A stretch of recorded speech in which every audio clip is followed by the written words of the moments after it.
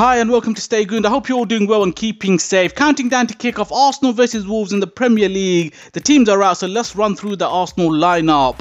And it looks like Mikel Arteta is sticking with the 4-2-3-1 formation as I predicted, and the lineup is almost as I predicted also. The only difference is I had Holding in for Luiz. Let's run through the lineup. Leno in goal, a back four of Tierney, Gabriel, Luiz and Bellerin, a midfield duo of Xhaka and Ceballos with Joe Willock sitting in front of them.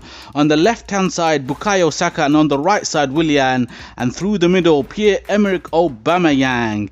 It's a very interesting and exciting lineup. I'm pleased with it. Let me know down below what you make of it and your score predictions also. I'm going for 1-0 to the Arsenal and hopefully the boys can get the job done.